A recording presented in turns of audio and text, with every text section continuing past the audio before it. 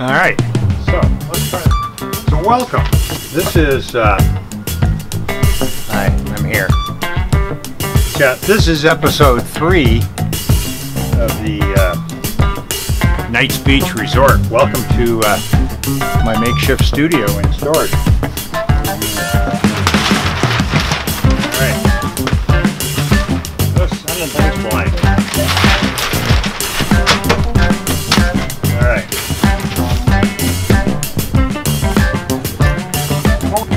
Welcome to episode three of the Knights Beach.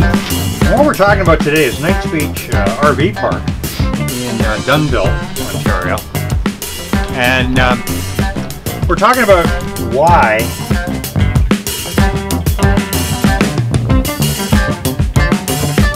from the park, what would be their their goal.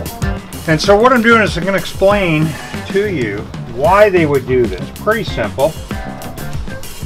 Well, that marker's no good. Throw that one out. Try this one here. Hold on. Oh, that's better. So, I'm going to show you why they would do this. So, here's the park. This is the road, and here's the road over here. These are the uh, two edges of the park. And then over this way, I'm going by their map here. Uh, this is essentially the beach area. And, you know, kind of a rounded area over here. So right now, we have trailers here. And we've got 10, 12, 14, 15. So we've got 17 lots there, and then this is a walkway. And then we've got, uh, what do we got? Okay, so the office is over here. And the gate. That's where you're coming into the park. So we're coming down this way into the park. So here's Lake Erie. So let's forget about this part of the park today. We'll come back to that some other day. But right now, or maybe not, because you know my ADD always kicks in and who knows what's going to happen. But right now we've got 34 waterfront lots. Now, they very much have the potential to add more over here in this undeveloped area, which is this is where they have the tenting, and tenting's not going to make them very much money. These could be turned into more waterfront lots here, and who cares about having beach access? Let these people have the waterfront. And down in this way, it's a little, the way the things are set up now, there are some waterfront or um, what Sherkston Shores calls cliff front, uh, but that still has a really high premium. So they could put in a bunch more down here. So we've got 34 in here, and they could probably put at least 15 more in the waterfront lot. So let's just take a look at that and, and what the deal is. So all these trailers are owned by individuals, not by the park. They're owned by tenants. Roughly $11,000 annual income. Hold on. I even brought in my old school calculator. So 34 lots, and we've got $11,000. Some of you guys have already done the math on that. I'm not that good. So that equals $374,000 a year. Not bad. Now, you've got, I don't, I'm not even sure how many more lots in the back. Like I said, we're not really dealing with that today anyway. But, so we'll say they have total 262. This is just for curiosity's sake. 262 lots. So now if we take away the 34 from that, so there's 228 backlog. They're about $3,000. So that's another $684,000. So a total, one million fifty-eight thousand. But remember, this is a gross revenue for the park. Now, they also have some revenue from the campers. So you can think that, you know, they could probably up that revenue to, uh, oh, we say, maybe 1.3 million, maybe. And that sounds pretty good to you. If you don't make a shitload of money, that sounds okay. But it's not. First off, there's three generations, and we talk about this on the website. There's three generations. Oh, that's good. They've got three generations of folks they need to support. There's Marvin, there's David, and there's Edward. They're all grown men. They all have families. I don't know, maybe Edward doesn't have families yet, doesn't have kids and a wife yet, but still, he's got to look to his future. And so they need to make more money. Now, let me emphasize here making more money is perfectly fine. There's absolutely nothing wrong with it. It's how they achieve it that I have a problem with. And I've said that before, and I will say it again. So let's look at this from a different standpoint. Now, over at Sherkston Shores, the rents start Sherkston Shores. Now, for those of you who don't know, Sherkston Shores is a park that's extremely similar to this, and it's really close. I'm not sure exactly how close, but it couldn't be more than 20 kilometers away. Down the lake, Same waterfront, same lake, same weather, everything's the same, season's the same length. The rents over there, the low rents are $6,800 versus the $3,000 and the high rent are $15,130 for the waterfront instead of the 11000 So let's take a look at that. Again, now we've got 34 lots times. So instead of 374, 514,000.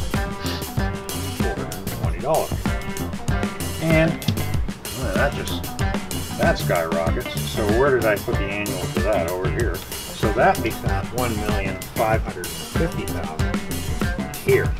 So the total, you done the math for me yet? 514, oh, we've got an income of $2,064,820 off the annual rental. So you can see how much that's increased the revenue. Well, why wouldn't it? I mean, it's doubled the revenue. So if you can do it at Sherkston, you can do it here. Why? Well, the difference is, is that Knights Beach is a bit of a shoddy park. An older park, it's getting a little rough uh, around the edges. If you go over to Sherkston, it's very well manicured. It's a very pretty park. It looks good. If you're going to double the rents, you're going to go from 3,000 to 6,800, more than doubling the rent. If you're going to take the 11,000 up to 15,000, you need to make the park pretty. You're going to have to make a bunch of improvements. You're going to have to put a lot of money into it, but it will return a lot of money, so that's okay. Now, let's look at the next thing. Sherkston Shores has a bunch of weekly rentals. So now on weekly rentals, go from a little tiny cabin, a small cabin is $657 a week. And they go all the way up to waterfront rooftop. Okay, so a waterfront rooftop for $1,895 a week. So now we start looking at that and saying, well, let's see now. If you can get $15,000 for the entire season, but here you can get 1895 So let's just do the math on that one. So 15,130. This is a, this is the prices at Sherkston Shore. 15,000. So this is already increasing over what Knights Beach is charging.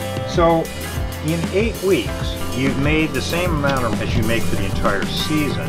Now the entire season is only six months, but still, that gives you four more months of rental increasing your income. So if you feel cocky enough to definitely 100% rent out every cabin or every trailer, July and August, all eight weeks of July and August, if you're sure you can rent it out, be always full, then you've made the seasonal rent, and you don't have to have any seasonal at all. So any additional rent you can get, June, maybe a little bit in September, a little bit in May, that's going to boost your income even further. That's pretty good. Why wouldn't you? Okay, so let's take one more look. Right now, these trailers are owned by individuals. These trailers are owned by individuals at night. If you want to come into the park, you're going to pay this $11,000. They're going to charge you a landing fee of $20,000, which they call an impact. And you're going to buy this trailer from the individual. So the park's only making a commission on the sale. They're not, you know, if you buy one of these trailers for $30,000, uh, they'll make 3000 bucks or whatever the commission is, 4500 bucks, whatever it is. But they're not making the 30000 To them, that looks like, well, that's money. So the thinking is, well, why don't we take these trailers out? Why don't we just rip all of these out of here and we'll put brand new trailers in here, but the park will put them in here. And some of them, they'll rent out on a weekly basis, like we said over here, $1,895 a week for some of them. And some of them, just to guarantee the income, they'll sell those trailers and then lease them the property for $15,000 a season. Of the average price over here at Knights Beach is about 30 maybe $40,000 and sometimes a lot less for trailers on the water. Get back over to Sherkston Shore. Trailers on the water at Church for a used one can go as high as 160,000. Well, they start. I shouldn't say go as high. They start at $160,000 and they go all the way up to 290,000. So now if we look at these annual rents, but here we have 34 trailers. So let's say they put in 34 luxury trailers along here and they sell them all. 34, all new. That means sold, excuse me, that means sold to seasonal campers. They're going to have to buy these from a manufacturer. But there's a huge, huge markup in them. These trailers that are selling for $290,000 cost, when you're buying in bulk, they cost something less than $40,000. So there's a huge profit. But let's just look at the gross side of it. The gross side, $9 million $860,000 to sell these trailers off. They're, they're going to make $9,860,000 gross, and they're going to have an annual income of 2 million. That's compared to what they've got going right now, which is maybe $1.3 million a year. In one year alone, if they did really well with this in one year alone, just doing the waterfront, not the rest of the park, just the waterfront alone, almost, what is that, 9, 10, 11, 12 million dollars. Just here, they can do 12 million dollars.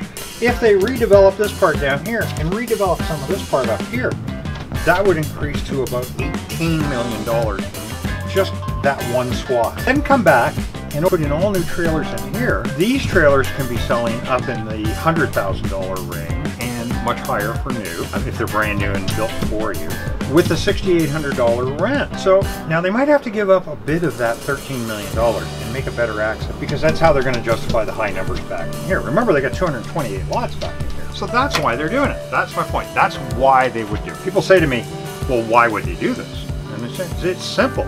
There's only one reason they're doing it. They're doing it for money. That's fine. That's fine. We all, one way or another, do things for money. We all have to make a living. That's the way it is. That's our. That's not the point. The point is they're doing it.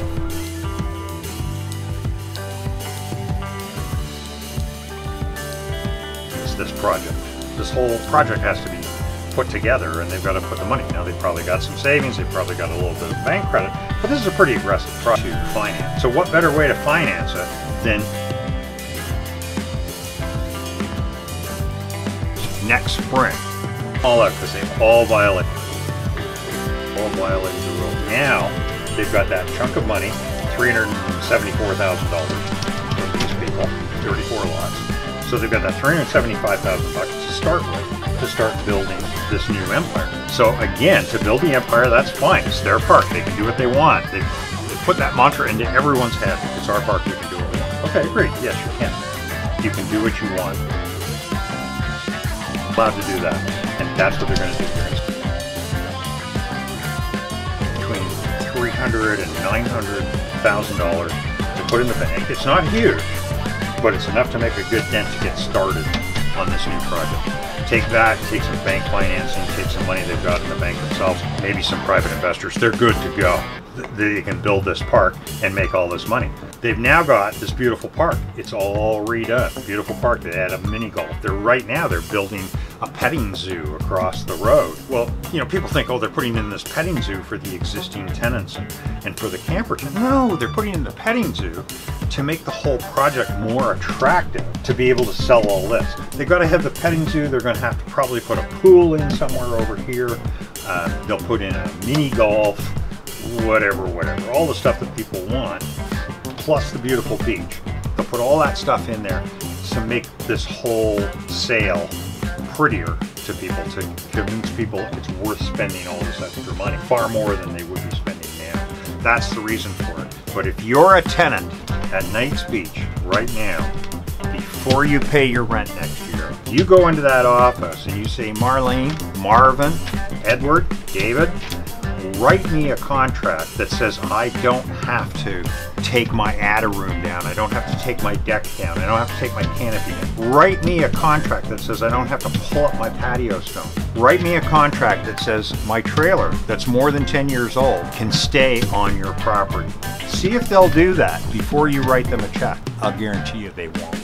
So listen, thanks guys.